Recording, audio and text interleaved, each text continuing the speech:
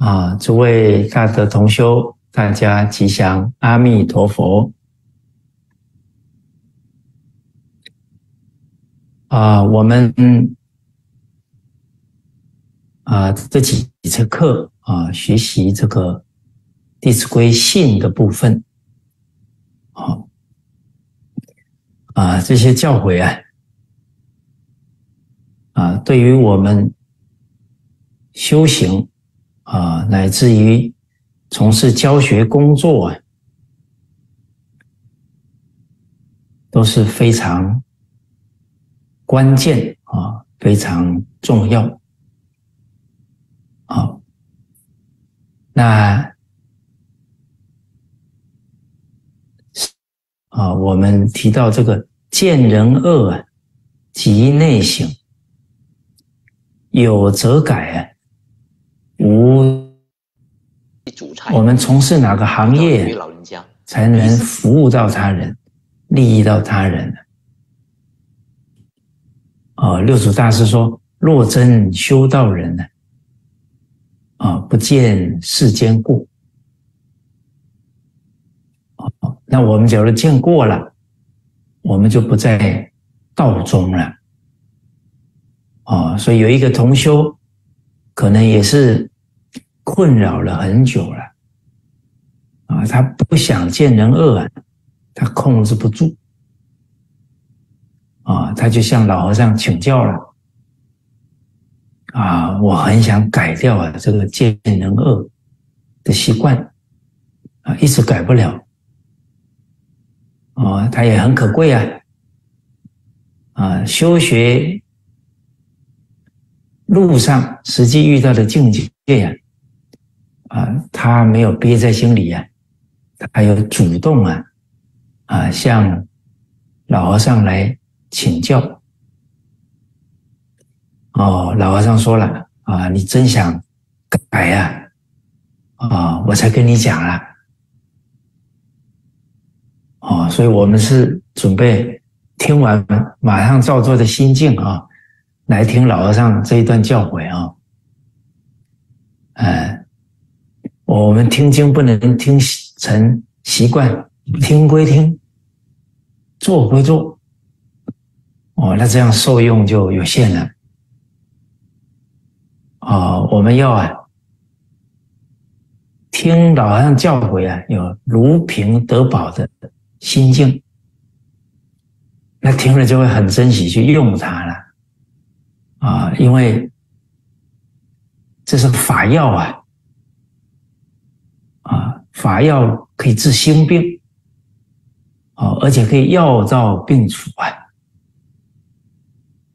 哦，所以学习的态度，心有疑随杂记，有疑问呢，有不能突破的问题境界的，啊，这个我们主动啊跟老和尚请教，啊，老和尚圆寂了，老和尚的法身舍利常住，啊，我们可以。啊，在网上啊，呃，问题的关键字啊，应该老和尚啊，世间好话，老和尚也说尽了啊，六十年、六十二年讲经说法呢，啊，讲的很圆满哦，这个是学习态度，心有疑随杂记啊。包含我们听了，甚至是教诲啊，领会的对不对啊？啊，哎，我们也向老师啊说明一下，哎，我这样领会对不对？怕误错了。哦，那老和尚圆寂了呢？哦，那我们三五啊志同道合的法眷属。哦，哎，我们听了老和尚的领悟啊，讲出来，哎，大家听一听啊，觉得悟的对不对？不然悟偏了也不行啊。哎，啊，我有遇到一个同修啊，哎，他真的悟偏了，啊，他读《无量寿经》读到如平得宝啊，哇，如平得宝是如是比喻啊。他读了之后呢，把房子卖掉啊，然后要去做一个贫穷的人。哦，呃，他他把如贫得宝啊，解成要要贫穷啊，贫穷是宝啊。哦，你看他这个悟错了，你这么一做啊，可能亲戚朋友会觉得，哎呦，学我还得去当个贫穷的人，那那可能会吓到人了哈。哦，所以这个有同参道友还是很重要啊。呃，依众靠众啊，这个悟错了还可以啊，大家互相印证印证啊。啊，尤其所悟的这个可能跟修学的方向目标有关的啊，这个不能悟错了啊。哦那同修问了啊，老和尚看他是很愿意学习了啊，就说了啊，从今天开始啊，你看到任何人的过失啊，哎，你就告诉自己啊。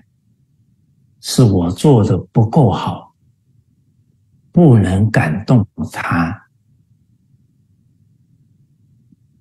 哦，老和尚就开始有味道了。哦，我们学佛啊，啊，就是学觉悟，觉而不迷呀，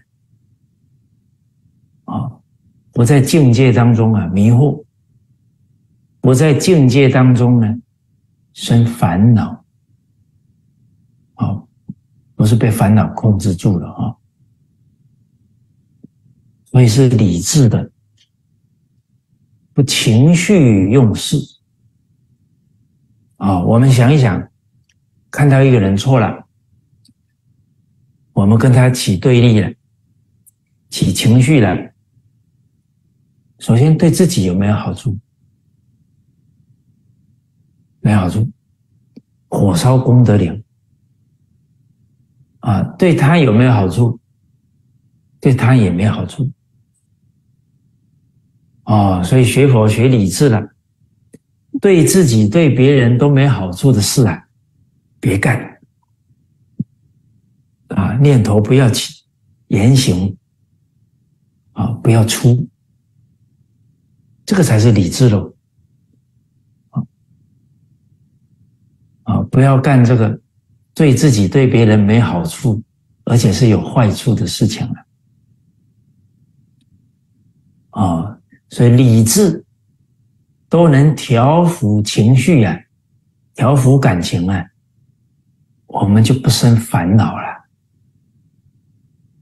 啊，我们会生烦恼啊，我们的理智还不够。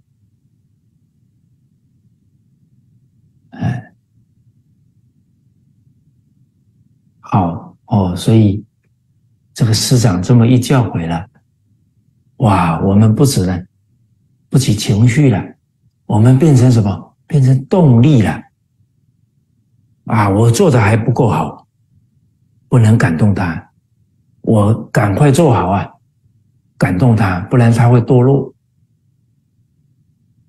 啊，我们存是一个为对方好的心呢。这个是我们的真心启用了，哦，所以老和尚说：真诚、清净、平等、正觉、慈悲，这是我们的真心啊！真心是功德啊！啊，妄心是轮回业啊！哦，这个一念之间呢，差别很大。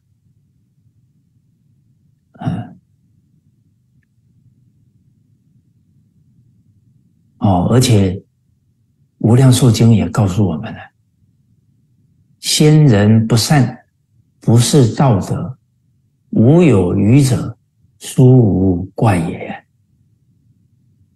啊，这个犯错的人，可能他父母没有教他，啊，他老一辈没有教他了，啊，那从这个角度看，没人教他，哎呀，他得了人生。当了中华儿女啊，居然没人帮他跟五千年的智慧接上，从这个角度看呢，他也挺可怜的了。哦，哦，所以这个是师长教导我们的，也其实跟圣人啊祖先呢在经典当中教我们的完全相应啊啊，我们看《论语》。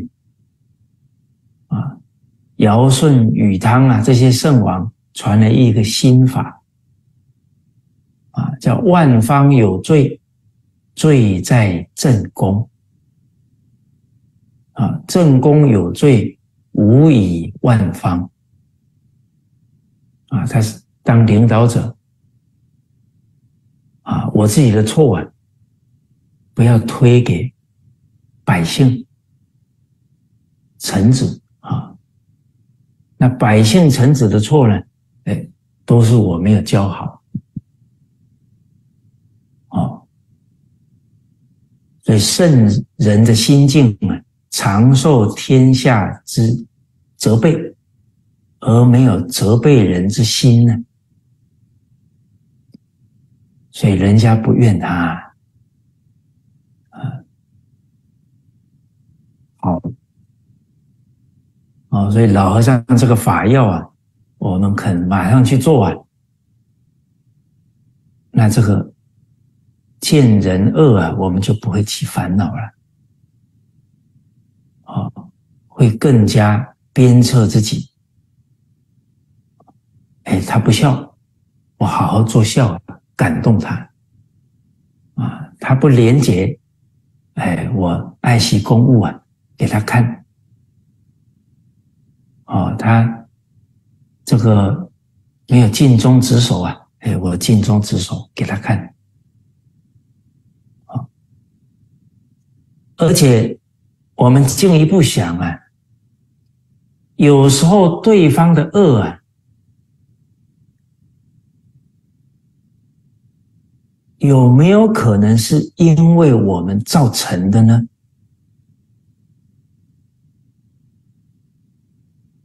哦，哎，这个当父母、老师的，可以再从这个角度思考。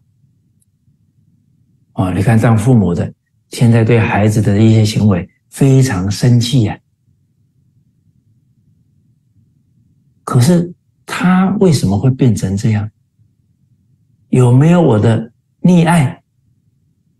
有没有我的放纵在里面呢？哎，带一个班，哎，现在学生很没规矩，哎，有没有可能是我一开始没有立规矩呢？哦，哦，所以在格言，哦，在这个《资治通鉴》啊当中啊，有一句话讲：“爱之不以道啊，是所以害之也。”啊，我们爱护孩子，没有依照正确的道理，那反而是害了他。哦，那比方这个，现在很多家长很生气啊，啊，你看那孩孩子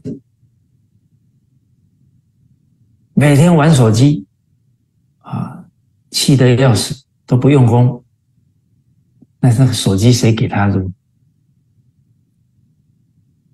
啊，那可能是我们做的不妥啊，产生后面这个问题了。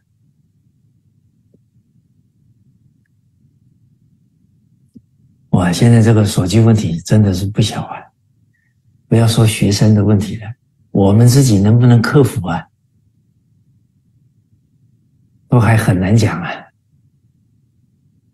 嗯，其实假如我们没有克服啊，我们说要把孩子、学生教，让他们放下手机，有没有可能呢？啊，让他们善用手机呀？不可能啊！身教者从啊，言教者受我们真的以身作则了，啊，善用手机，然后都啊没有着这个这个上瘾，哦，那孩子看了佩服啊，效法了，啊，你假如只是言语当中，就赶快会写作业，不要再玩手机了。那孩子心里想：你玩的还比我多了，你看的还比我多了。他他哪怕没有表达出来，他心里面也是在那嘀咕了。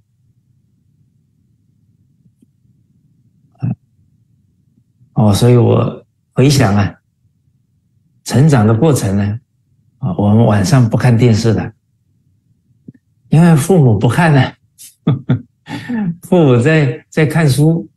你当小孩子嘞，不好意思，父母在那里看书，你坐在那大摇大摆看电视吃零食，就干不出来了。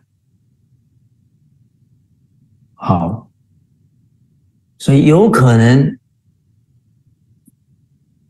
对方的错啊，你不要掀起情绪，冷静冷静啊，是不是我前面做的不妥当啊，才产生后面这个结果？哦，你看孩子吃垃圾食品，哎，怎么养成的？哦，或者孩子现在笨手笨脚的，哦，只会考试不会做事，你在那生气，那是你只叫他读书啊，没叫他干活啊，啊，把他照顾的无微不至的。他都没有生活能力了，哎，大家想一想啊，一个人连自己都不会照顾啊，这个人有没有福报啊？哎，哦，所以啊，你看我们这个教育啊，理念正确非常重要，不然你理念错了，你把孩子给误导啦。哦，你看。当父母、老师的对一个孩子的学习只着重在他的学科、他的考试上，你说我们能把这个孩子、学生带健康吗？带他的人生能够全面吗？哦，太多家长咯，你去读书、考试考好就好了。其他啥都别做了，哎，这个跟几千年的教育理念呢不相符合啊！你当老师的人只专注在学科成绩了，那教的孩子一定方向啊会有偏呢。哎，我们看古人一开始教什么？黎明即起，洒扫庭除啊，要内外整洁啊。既婚便席，关锁门户，必亲自检点。都是生活教育啊。一粥一饭，当是来之不易啊。你看，一开始教育他要有责任感，要多劳动，要为家服务。为人服务，然后呢，要惜福，一粥一饭当是来之不易啊。他不惜福，他就折福了。他没责任感，不主动服务人，他就没福报啦。哦，所以小孩教育先教生活教育啊。洒扫应对进退，现在这个都不教了，生活教育不教了，啊，哪怕是学传统文化，啊，他很会背诵经文，结果没有教生活教育，没有教怎么服务他人，啊，老和尚说啊，会教出两个结果。第一，书呆子。哦，所以我们有时候在教学的时候，你怎么书呆子啊？哎，有时候你骂他啊，是我们教学有问题啊。哎，我们是不是启发他悟性的教育？你没有生活教育就没有行吗？他就变死读书了。哦，那这个变书呆子就很可怜了。哦，所以这个传统文化。这二十来年了，啊，我们当父母老师的得总结总结呀，没有总结清楚问题在哪，后面还会继续出现的，啊，前事不忘啊，后世之师，啊，我们冷静看看我们的孩子跟学生的悟性高不高？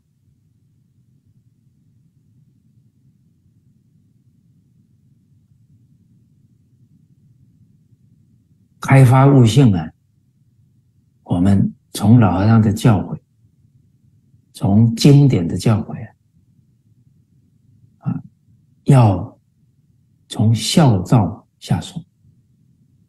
你说一个人懂孝道了，他一定会照顾父母啊，他就在修福啦，啊，自信的智慧德能。怎么开发的？地藏菩萨表的法，所以我们不教孝道啊，我们不是办教育了。哎，这是很严肃的问题了。再讲的严重一点，我们可能会误人子弟了。人家本来可以很有悟性的，被我们教的。呆呆的了，啊，我们都是一直灌输，灌灌到最后雾门就堵住了，开而福达，开始启发了，福达就是你不要讲，什么都讲完了，都没有留一个空间让他去领悟，去感悟。啊抢而敷衍，抢是鼓励，益是否定。啊，我们现在父母老师情绪控制不住了，那个否定孩子的言语会伤了他的内心了。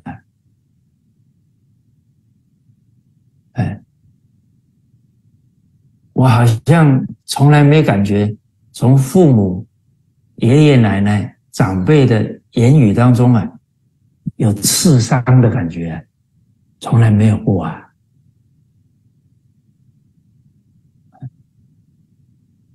都感觉到爱呀，哪怕父亲在训斥我了，我是都能感觉到，那不是情绪发泄，那是爱护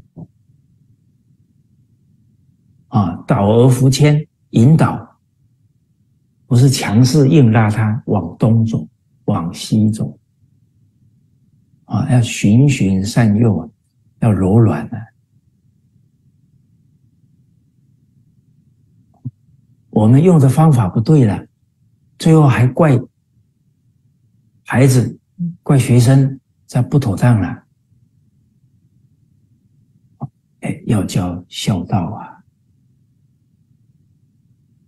啊，要从改习气下手啊！烦恼轻，智慧才会长。好，那要从改习气下手。那我们当父母、当老师的，要改给他们看呐。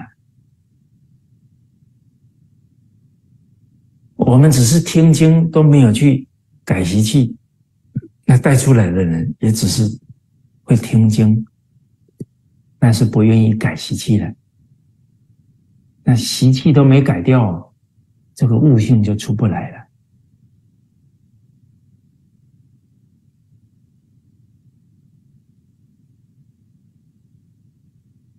哦，那刚刚我们提到生活教育啊，一个人懂得处处服务人呢，哎，他有福报。大家有没有观察，特别愿意帮老师的学生呢？哎，脑子很灵活，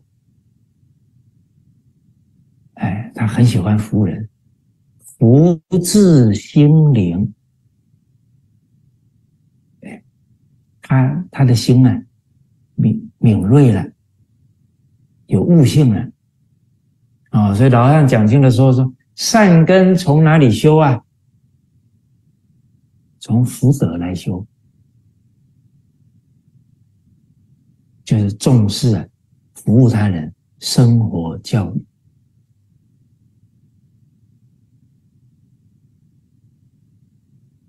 哦，所以这个。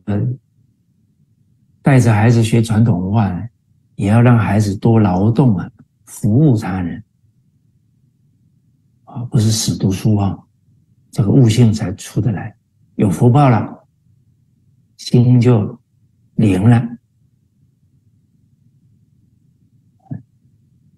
这个都反思我们教的对不对啊？当然，这个不能用偏调啊。哦，比方说，哦，要修福了，啊，才会有悟性呢，啊，所以这个十几岁年轻人，啊，到你的单位来了，通通干活，干活才有福报，啊，经也不用听了，什么都不用听，就干活，你们哪有那么大福报？先干活，这个传递的就是要求。传递的不是成就对方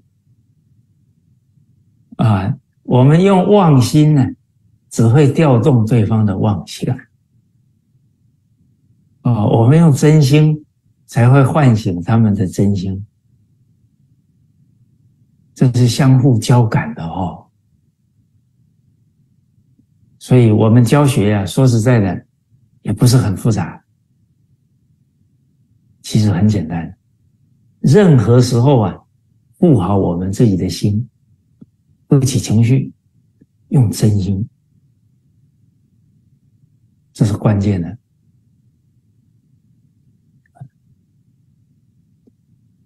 啊，昨天看了一个笑话啊，啊，当然跟不起情绪有关啊，啊，这刚好啊。有一台公车啊啊，有一个乘客啊，他就坐在最后排正中央啊，不知道大家有没有坐过这个位置啊？结果开呀开呀啊，这个司机啊突然紧急刹车啊，这一位乘客啊连滚带爬啊，冲到了这个投币处了。那刹车的力量太大了，一下冲到最前面去了，鼻子差点没有撞掉了。啊，哇！大家感受一下全车的气氛呢？啊，你看所有的乘客看到这一幕了，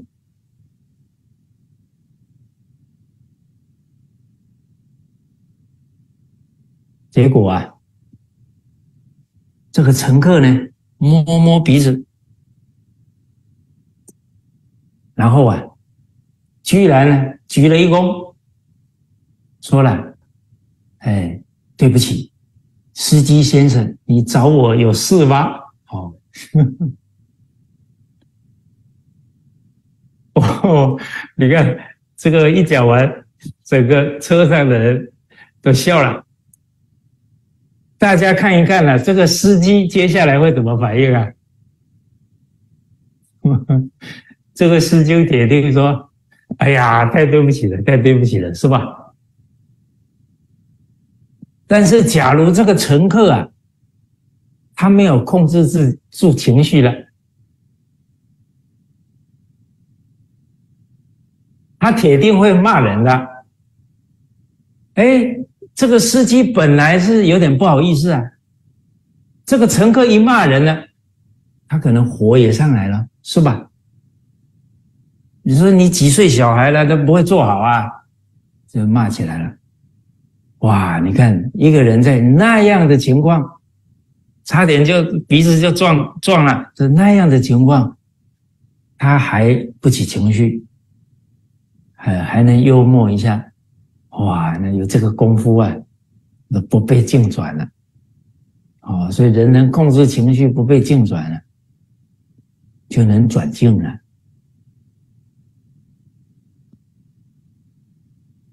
魔法很好用的。嗯，若能转物，则同如来啊！哎，这句话跟我们有没有关呢？哎，什么时候要用这句话？那学生遇到任何情况了，我们首先不被这件事转了，我们就用真心在处理了，就感动所有的人。哦，假如孩子犯了很大的错误了，你看班上所有的同学都在那里屏气凝神呐，看老师会怎么处理了。突然老师还心平气和的，所有的孩子印象深刻了。啊，本来想，哎呦，本来想老师要骂人的了，居然没有啊。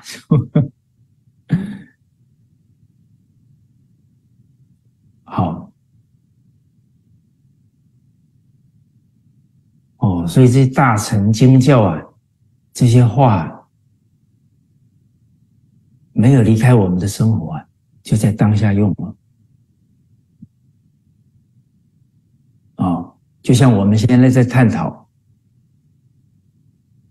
哎，很可能原因呢，对方的错误是原因是我们造成的。万法因缘所生，他这一句话就包含一切境缘了。万法就是一切都在里面啊，不管人事物啊，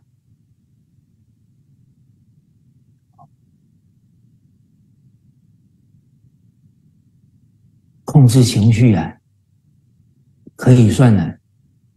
我们的学生呢，一定要赶快具备的能力了。这真的是刻不容缓的啊！我自己呀，也是智慧不足，在我第一年做班主任呢，带六年级的学生。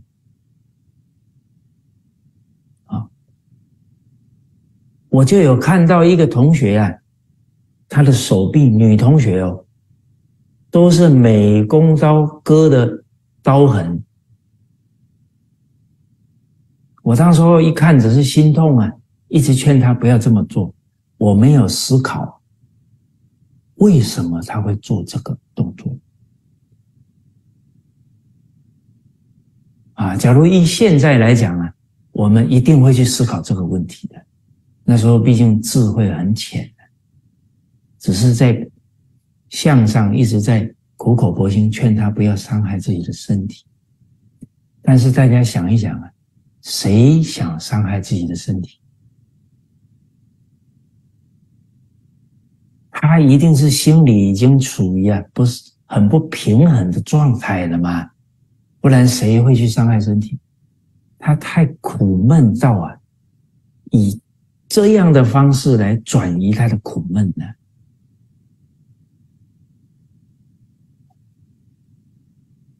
哦，所以现在小学生啊、中学生呢，忧郁的不少啊。啊，那一天听到一所中学四百多人呢。啊有辅导老师呢，跟每一个学生都聊过，三分之二的学生心理有问题。你说这不是我们家长、老师应该重视的事情了吗？哎，我们现在啊，不能太粗心大意呀！啊，我感觉我们都不愿意粗心大意，可是我们不知不觉啊，粗心大意了。因为我们的生活啊太紧凑了，大家感受感受啊！你看，你吃饭也赶，坐车也赶。请问我们处在这样的状态，你能感知到身边人的状况吗？比较不容易了。以前是农业时代啊，生活步调比较慢，而且人都跟大自然相处，所以那种感知力啊比较敏锐。哎，乡下的人啊，有人情味。哦，哎，他可能看到你什么需要啊，他隔天就拿路啊。都挤满了人了，三千人了。哦，老人家是坐前面，哦，我们还有年轻人呢，来侍奉老人。那刚好那一次我有上台分享课程，结果隔天呢，收到啊几盆鸡蛋，盆哦，不是一个两个哦。为什么呢？这个乡民说啊，哎呀，这个蔡老师怎么这么瘦啊？来到我们仓池啊，啊，给他补一补啊！哇，你看，他才看看你一面呢，哦，他心很很细呀，就隔天送那么多鸡蛋来了。我们现在这种工业化、都市化。哎人心比较麻木了，所以我们不能被工业化所转哦，哦，不能被紧凑的生活给转掉了。我们还是要保持柔软、敏锐的心呢。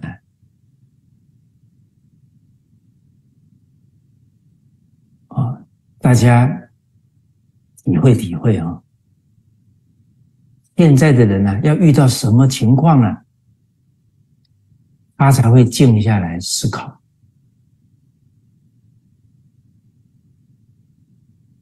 往往都是啊，发生的那些事冲击力非常大，他才停下匆忙的脚步。哎，我觉得我们现在活成这个样子，挺挺无奈的。挺不值得的，为什么？我们比以前的人忙多了，花的时间精力没有输给以前的人呢，怎么问题越来越多？努力有结果啊，不一定有好结果啊，因为我们努力啊，都到枝末上面去了。你看，我们教育孩子跑到枝末了，分数、知识没有从孝道了，没有从德这个本了，那最后的结果舍本逐末，怎么会好呢？哦，你看，我们发展事业，我们着在相啊，啊，我们把时间花在巴结上司了，谄媚领导了。累得要死啊！最后呢，没有福报。哦，所以我认识一个演员啊，他好几年的岁月啊，到北京都在找关系啊，一天可能要吃三三餐呢，从晚餐一直吃到凌晨，最后呢，自己去吃完早餐了，回家睡觉，不是一天两天哦，搞到呢也没有发展，眼睛青光眼有瞎眼的危险。哇，你看人呢，都忙到事项上面去了。好累啊，好无奈啊，最后也是没有福报。哎，后来他青光眼了，到了低谷了。哎，他还挺有姻缘的，就是他女朋友啊，他说我可能会瞎了眼了，我我们分手吧。哎，他女朋友非常有情义啊，说你瞎了，我还是嫁给你，啊，也给了他动力啊，啊，后来他在谷底了，他才开始看人家送给他老和尚的书。哦，我刚刚跟大家说的，我们现在的人的生活节奏啊，一定要一般是一定遇到了什么？身体出大状况了，他才突然停下忙碌的脚步。哦，或者孩子已经没法管教了，这个震荡力够大了，他才开始重视。但是啊，这个时候要去解决问题啊，就不太容易了。那都已经啊，冰冻三尺。非一日之寒，哦，包含自己身体出问题了。哎，一个人得癌症呢，那个是几年积累的呢。假如我们够敏锐，知道吃要怎么吃，知道睡要怎么睡，怎么可能会有这个结果呢？哦，包含甚至于另一半呢，我要跟你离婚了。哎呀，天晴天霹雳，我很努力啊，你为什么提出这样的要求呢？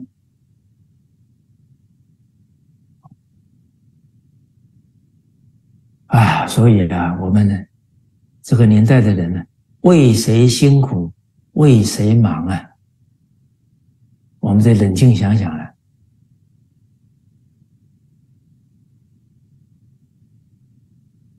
我们老师再辛苦啊，我们有这种热忱。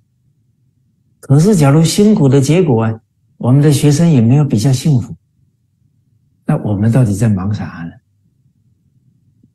啊，陈德那时候教学，看着一年不如一年啊，哇，这个就摆在我面前了。我是选择麻木呢？还是选择思考。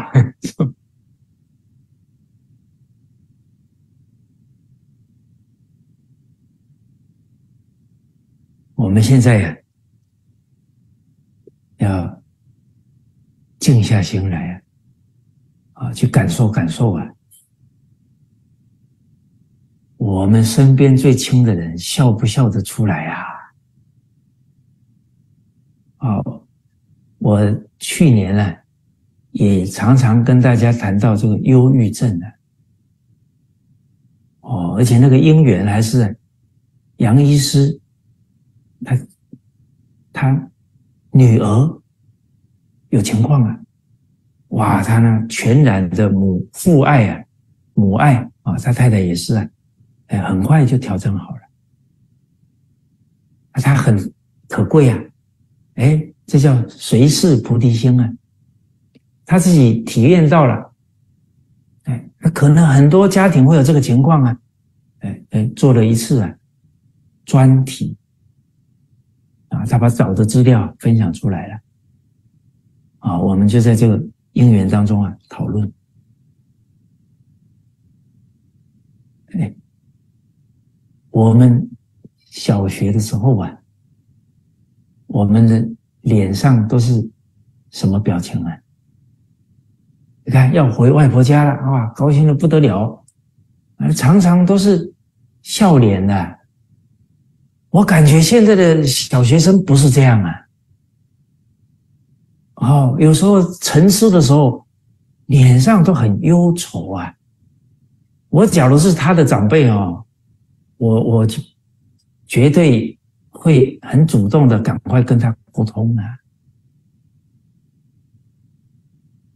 那那种表情啊，不应该在他那种年龄出现的。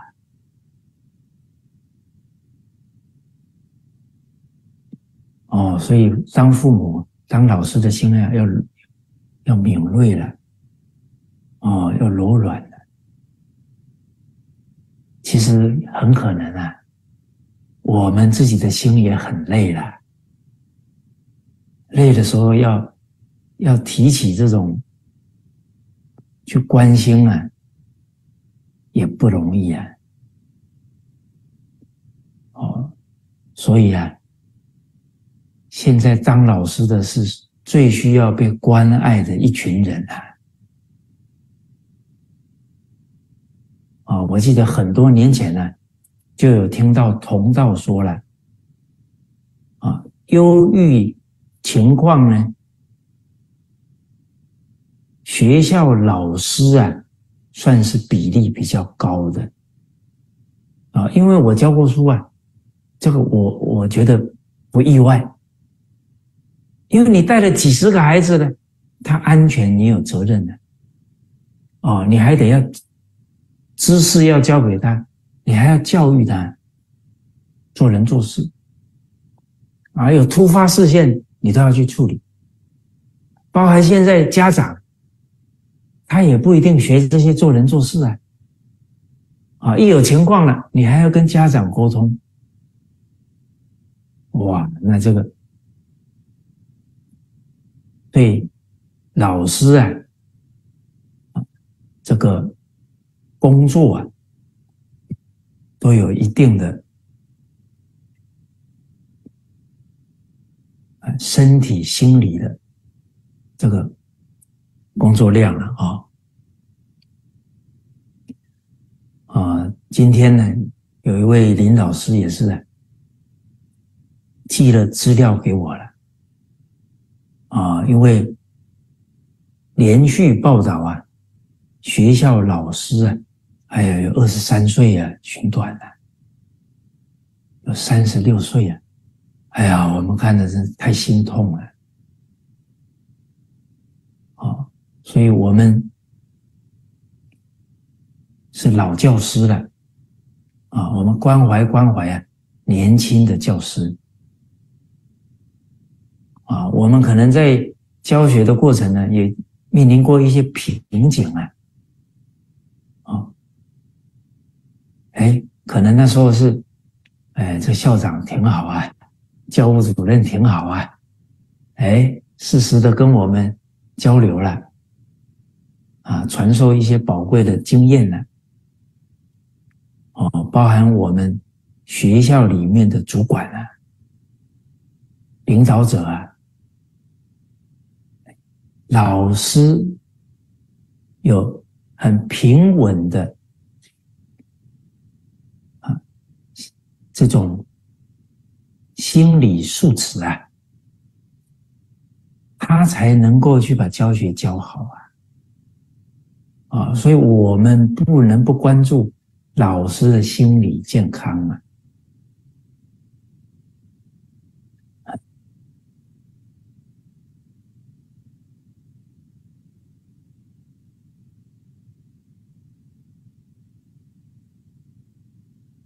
哦，所以，我们处在这个时代啊，真的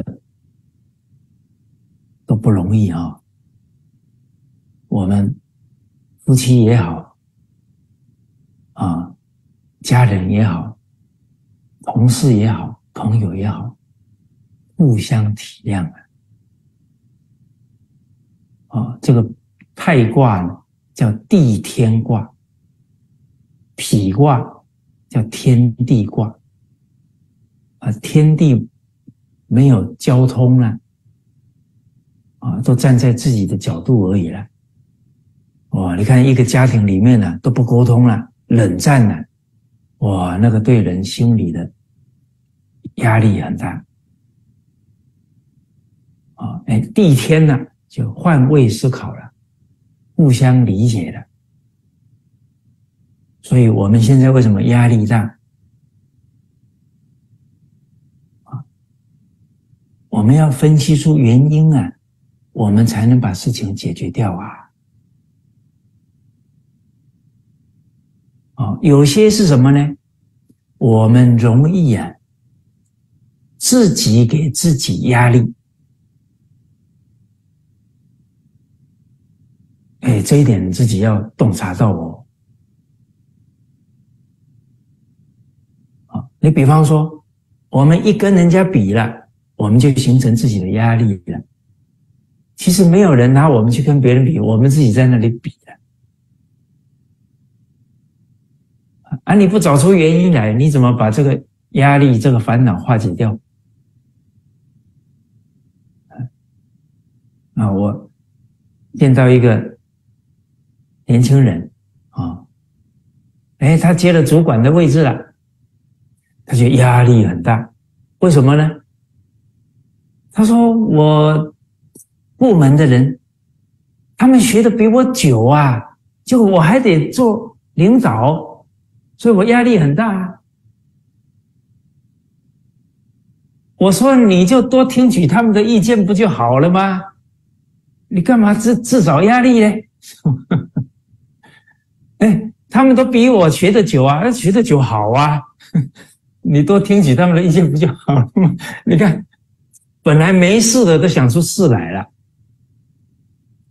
我说人家康熙皇帝八岁就登基了，那他他不就忧郁症了吗？哎呀，我才八岁啊，他们他们很厉害呀，这不就忧郁症了？哎，哦，我感觉啊，我们首先要爱自己哦。你才有能量去爱别人啊！啊，古人留了一句话：不要自讨苦吃啊！哦，不要这个自寻烦恼啊！哎，有没有道理啊？不要自掘坟墓啊！自己挖一个洞，自己跳进去了。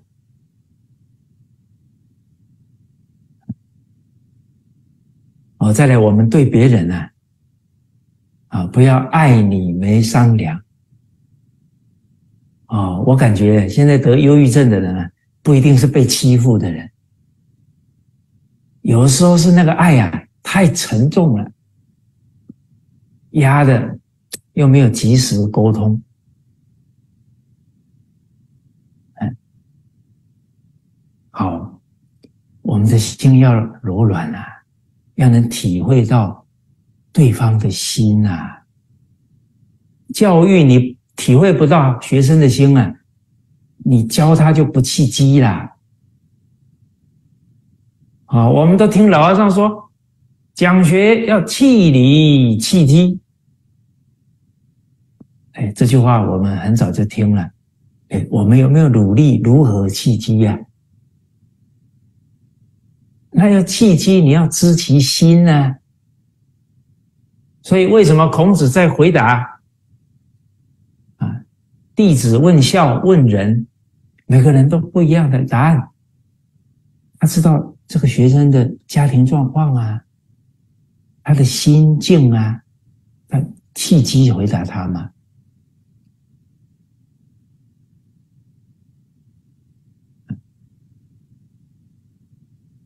我听过一个孩子跟他母亲的对话，哦，你看他母亲啊，学传统文化哦，哦，然后后来啊，听了一些课程呢，他就跟孩子说：“孩子啊，你看我最近不打你了吧？”啊，孩子怎么说呢？孩子说啊。言语没有棍言语打人呢比棍子还痛。哦哟哎棍子打是皮痛啊言语呢会心痛哎哎我们那个言语有没有顾及学生的自尊呢？孩子的自尊呢？哎，我们在讲话的时候有没有在感受一下，我这句话下去对他会怎样？我们有没有曾经遇到朋友跟你说：“哎呀，你三年前那一句话呢？我三个月才缓过来啊！” 大家有没有？你说啊，这些事我都不记得了啊。我最近也听到，啊，有同仁跟我说，啊，法师啊，哦，你看几个月前，啊，你跟我讲了哪句话？哦，我现在听到这个耳朵都竖起来，哎，哦，讲完之后啊，我看到你都害怕哈，哦，你看心出野狱啊，都没感。感觉到这句话对人家的伤害了，出言要顺人心啊，伤了人自己都不知道了。哦，后来他很有善根啊。到后来我听你讲课啊，说不要有过去烦恼啊，过去心不可得啊，过去了不要留在心中，我就好多了。哦，我非常佩服他在哪里。啊！我吓了他了，他居然还肯听我讲课啊，而且还能听进去哦。他的修养不简单哦，他修养超过我了。嗯，哦，所以我们不能住相啊，住老师相啊啊！有时候这年轻人的善根都超过我很多。哦，所以《金刚经》说：“应无所住。”哦不能住相啊！但是这个不住相真不容易啊！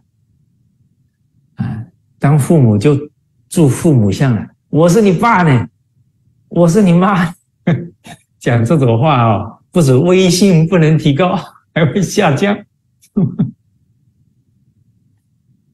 哎，这个叫强迫人家要尊重自己。这个没有道法自然啊！哦，我们刚刚说的，我们用妄心，怎么提起对方的真心呢？啊，我们提起要求的时候，怎么会让对方感动呢？哦，所以啊，言语的伤害啊，可能比棍子还厉害啊！后来呢，这个妈妈又很努力了，嗯，努力努力呢，哎，少骂人了，啊，又跟儿子说了，哎，你看妈最近少没比较少骂人了吧？啊，他儿子说什么？他儿子说啊，自这个意思就是说，志向打人呢。比棍子跟言语还痛，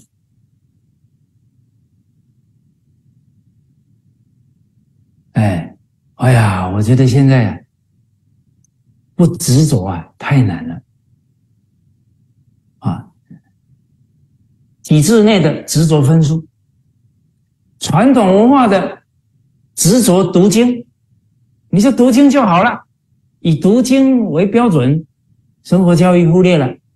又是直，哎，会教出书呆子哦，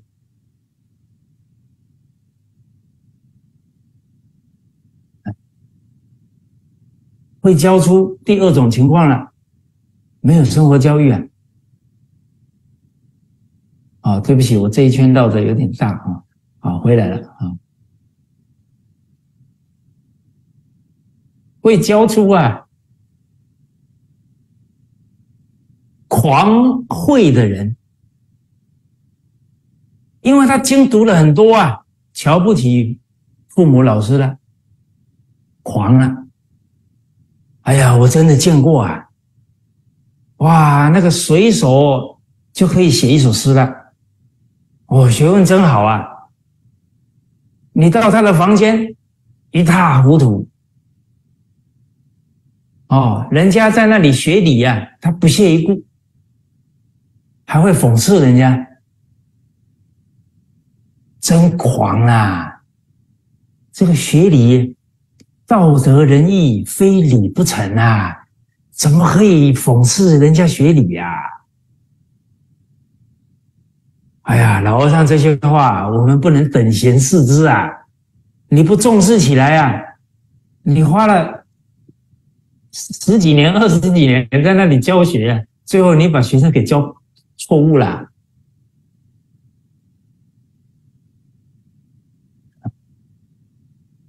哎，所以现在想想啊，老和尚说啊，学佛啊，是让我们放下贪，放下习气，不是换对象去贪呐。变成贪法了，变成贪功德了，变成贪名了，那不是还是换汤不换药了？哦，所以老和尚讲这些都是修行的正知正见呢。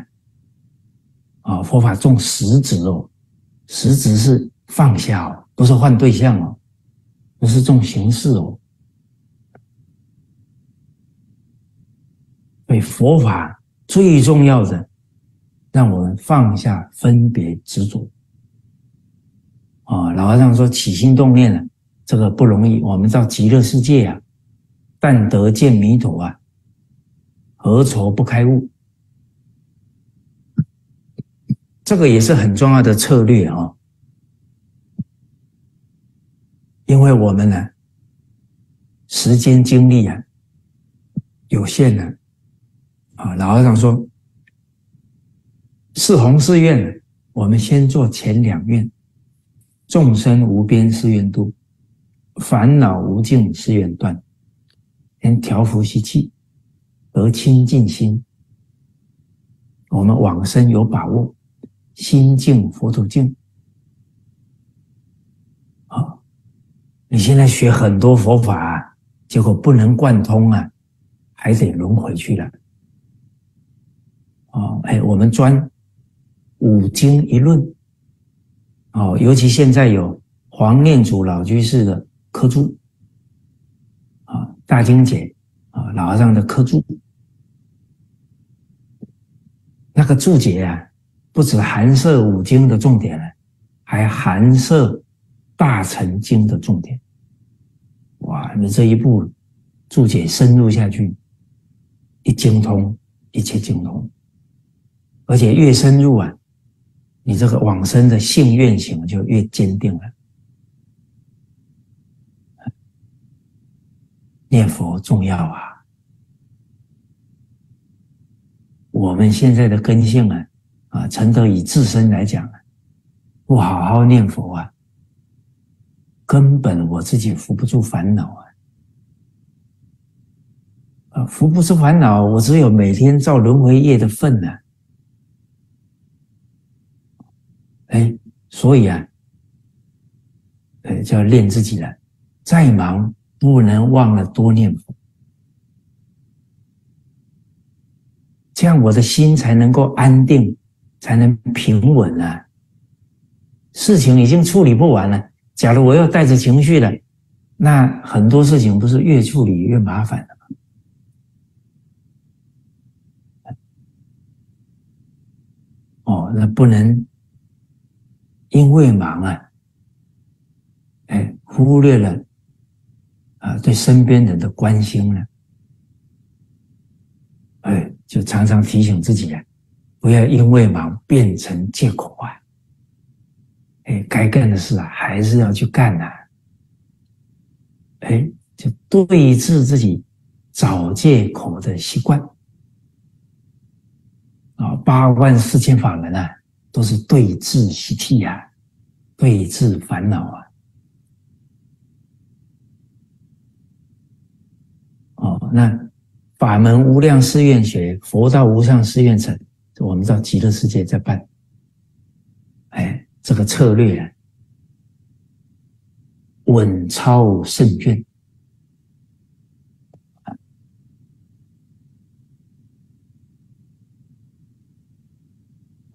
那老和尚讲经的时候，最常讲的会修行啊，六根接触六尘，不起心，不动念，不分别，不执着，这个叫会修行。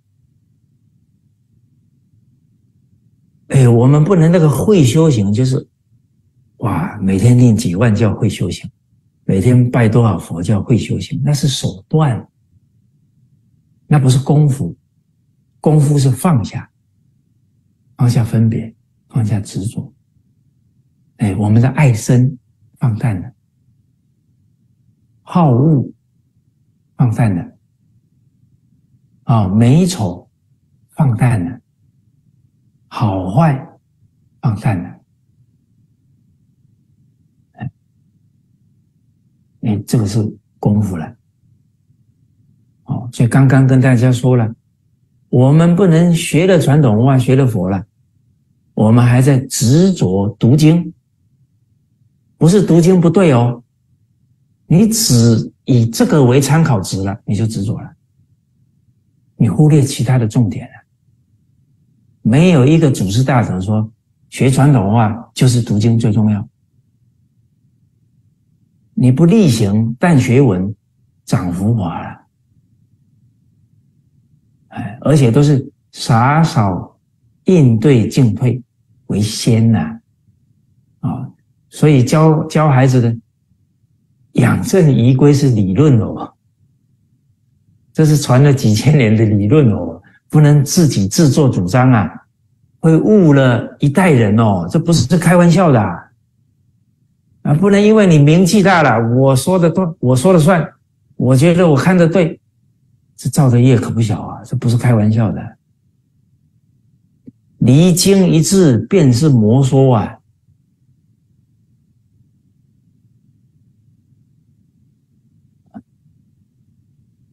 这个慢心是很容易起来的。我们可不能做了传统文化的领导了，哎，反而这个慢心一起呀，不能接受别人劝呢，就麻烦了。啊，下一句很重要了，闻过怒。闻欲乐，损有来亦有去了。哎，哦，人那个慢性嗔恨起来了，真的都感知不到问题了。你脾气大的人，团体一定流动率很高的，都视而不见了，都没有静下心来去反思问题在哪。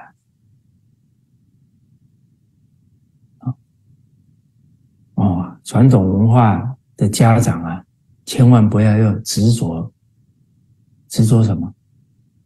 执着儿女做圣贤人。我觉得应该是先求自己做圣贤人重要了，而不是哦。所以刚刚那个孩子说了，志向打人。比言语比棍子还痛，每天在那里，哎呀，你要像老法师一样啊！你要像，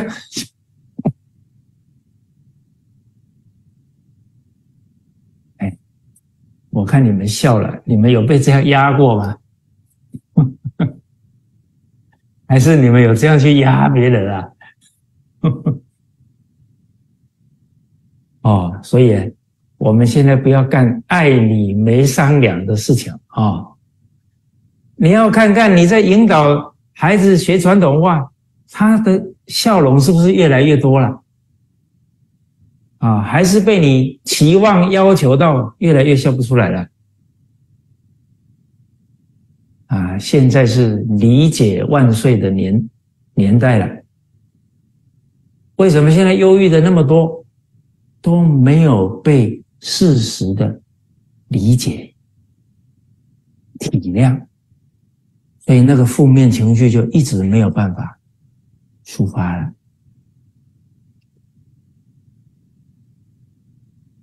哎，同志们啊，革命尚未成功啊，是吧？啊，孙中山先生抛头颅洒热血啊，是吧？希望的就是人民真正过上快乐的日子啊！你看，我们现在搞到二十一世纪最大的挑战——忧郁症。你看，十九世纪心脏病，二十世纪癌症，搞到现在二十一世纪忧郁症。忧郁症心病要心药医呀。心药只有经典哦，哎，嗯，诸位同志们啊，革命尚未成，哦，不是，不是，为众开法战啊！现在十万火急呀，那个可能很多亲戚朋友啊，他的心理。承受压力啊，已经快快到最后一根稻草了。我们得要柔软的去体恤到了，哎，紧急的去化解呀。哦，哎，我们刚刚提到了第一线老师啊，工作压力还是比较大的。哦，我们形成。哎，这个学校领导啊，关心爱护这些老师们啊，同事之间呢，互相关心，甚至于你是家长是吧？哎，对于老师的付出，及时的肯定，这个都会给他的心里啊流入一股暖流。哎，我们现在要敏锐啊！我们的一言一行啊，给人家正能量啊！现在心里负能量已经太多了，不忍心啊，又因为我们去给予对方负能量，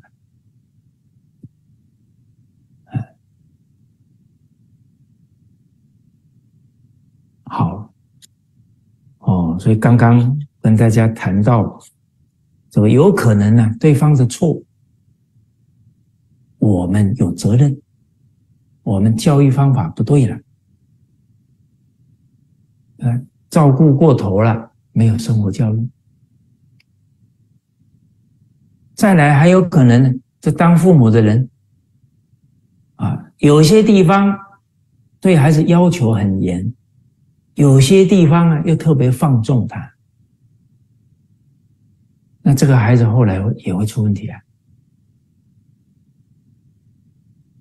哦，或者父母忙于工作，造成内心呢有点愧疚，就用物质啊去满足小孩，你到头来这个孩子会出问题的。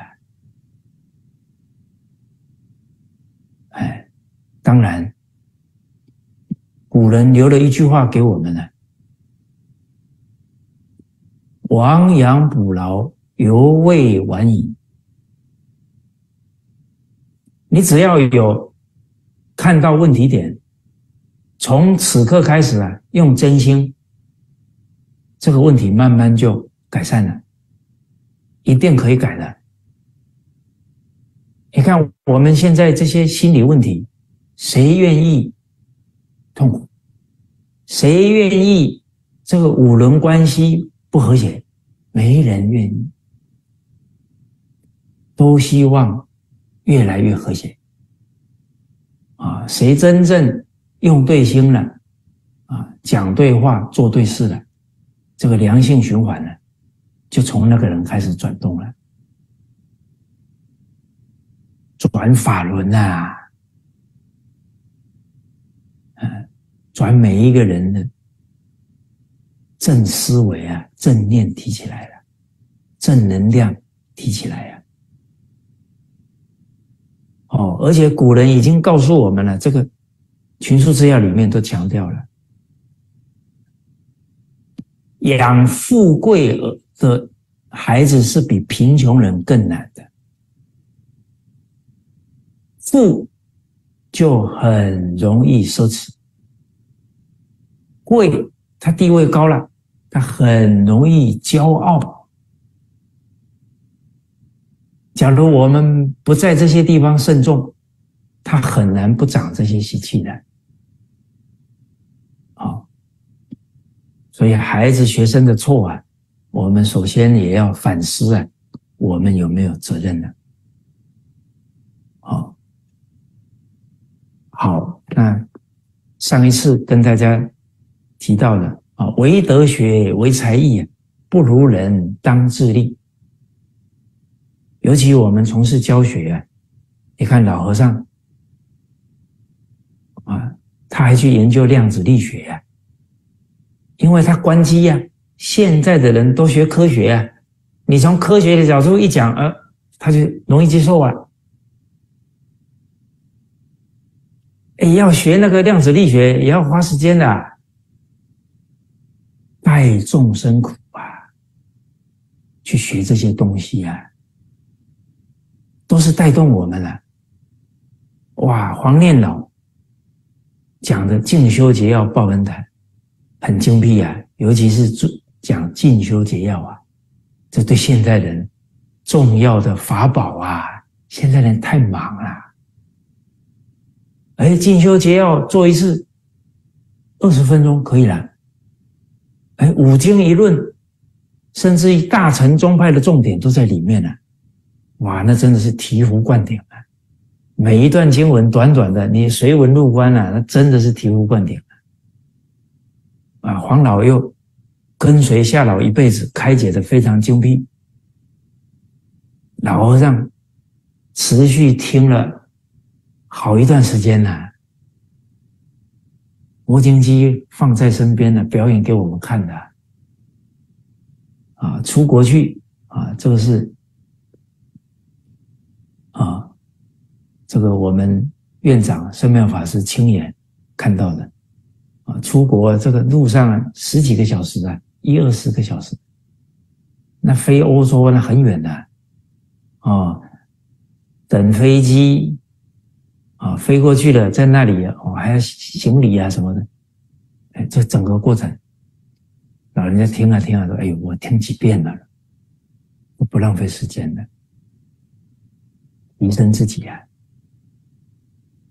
我们想想，现在学生家庭因素、成长因素，我们希望孩子的人格、哎，心理素质健康啊，我们也得花一些时间提升我们心地功夫啊，提升我们的这种摄受力啊、慈悲力。受受力啊！而且我们要受受学生呢，我们忍辱功夫要过啊，不能起情绪哦。刚刚那个故事不能白听哈，那个公车的故事啊，你看，嗯，我听完说，哦，这个人功夫不简单了啊，遇到这种状况了都没有动情绪。还能提起幽默哇！嗯，好，哎，我们想利益现在的学生呢，嗯，我们该充实提升的还不少。哎，好，哦，那若衣服若饮食啊，不如人勿生戚了。啊就是不要往啊这种虚荣啊物质的生活去追求，其实那样的人生呢，只会让自己越来越空虚而已了。你跟人家比吃啊，比穿啊，比住啊，那是攀比呀。攀比的心安定吗？自在吗？比的时候还要。打肿脸充胖子啊！哦，然后回到家呢夜阑人静啊，心都是空虚的。哎哎，我们人呢，真的要对自己更敏锐啊！到底要走怎样的人生呢？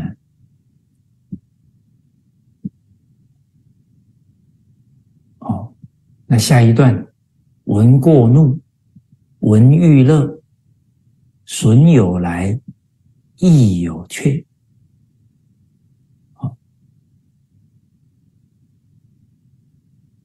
啊，人非圣贤呢，孰能无过？啊，包含我们自己，我们还没有入圣贤。我们可能也会有过啊，啊，我们用什么态度啊来面对过失啊？因为老和尚说了，修行就两件事：知过改过。哦，而且了凡四训说啊，一日不知非，则一日安于自是。一日无过可改，则一日无不可进。哎，这这两句话我们听清楚了。我今天不知道过失在哪，我今天空过了，我今天因循苟且了。啊，天下聪明俊秀不少啊，所以德不加修，业不加广者，只为因循二字，耽搁一生。哇，那每天知过啊，比什么都重要了。但是我当局者迷啊，旁观者清啊。哎，我们真的思考清楚了，别人给我们提意见了，我们会怎么样？我今天没有空过来，你不止不会不高兴啊，你会感谢对方啊。哦所以啊，我们得敏锐感受自己的心呐。闻过怒，哎，为什么他提醒我我会生气啊？我我不明理了。我为什么不明理不理智呢？我被我的面子害了啊！因为那个面子啊，人家一提会产生情绪的。啊！别人一看我们脸色变了，不敢提醒我们了。其实啊，处在领导的位置啊，越高因果越重啊。哎呦，这个深信因果啊，真的要重视啊！你的决策不对了，你修学的方向带错了，误人子弟啊！这个因果不是开玩笑的。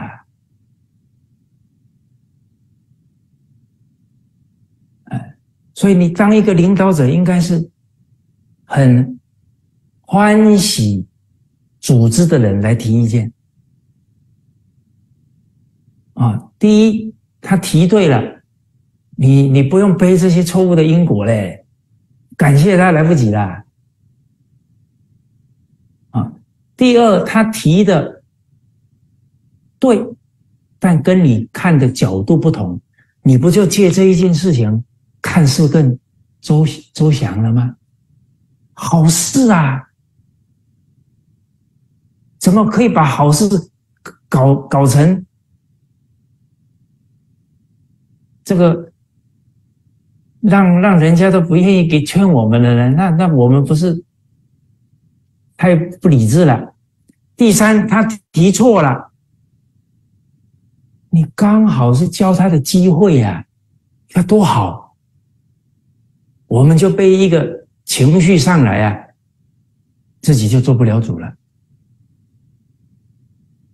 哎，我们要学唐唐太宗啊，人人家是求见呐，而且人家说错了呢，他还不当场驳斥对方。他说：“我这么一驳斥他，那下次他劝我有压力了。你看人家心那么柔软，让劝的人不要有压力。”假如说我们今天当领导，啊，现在有时候我们又当领导又当老师啊，哇，双重的身份呢，人家要劝你都是战战兢兢的。这个时候我们要摆出一个态度，组织的人劝我们，我们摆出的态度是：我学的时间比你长，啊，我发心比你大，啊，我的经教学的比你深，我做事的经验要比你丰富，啊，那一个领导者这么讲就是什么？意思就是什么？肯定我是对的，你是错的。哎呀，关心为要啊！一个学道之人起了个念头，我学的时间比你久，这个念头就很危险啊！慢心起来啦，因无所住啊！我们用的才是真心啊！起这个念头已经偏了，佛陀提醒我们了，不亲后学呀！哎，这都是佛的法要啊！一个真正经教深入的人，他不会觉得自己学的比人家深，他会学的觉得。越来越觉得自己很多过失啊，哎，小人不知道自己有过啊，君子不知道自己有德啊。一个君子说：“嗯，我的德行不错。” 不是君子啊，他那个心念就已经跟君子不相应了。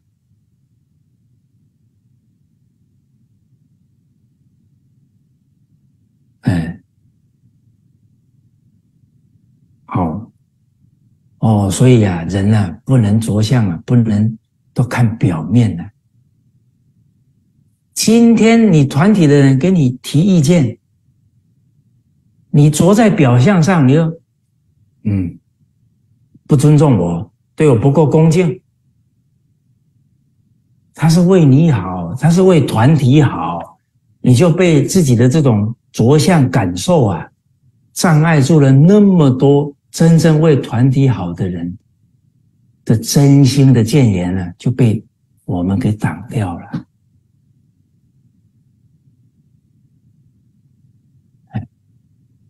这样的情况啊，组织一定流动率会很高的。啊，群书之要讲，汤武以恶恶而昌。节奏以为为而亡啊！我们学传统文化不能以历史啊，不能不以历史为借鉴呐。一个团体，每一个人都敢讲真话，商汤、武王，这个朝朝廷就兴盛起来，这个朝代就啊变成盛世了。夏桀、商纣，每一个人都不敢讲话了，不然就被他贴标签了，被他排斥了，甚至严重了，夏桀被夏桀杀了。兴衰啊，都是有征兆的，我们要敏锐啊。一个人能不能往生呢？有征兆的，